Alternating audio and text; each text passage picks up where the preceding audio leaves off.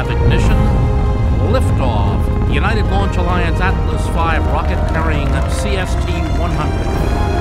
CST-100 is on its journey to the International Space Station, bringing America back to space.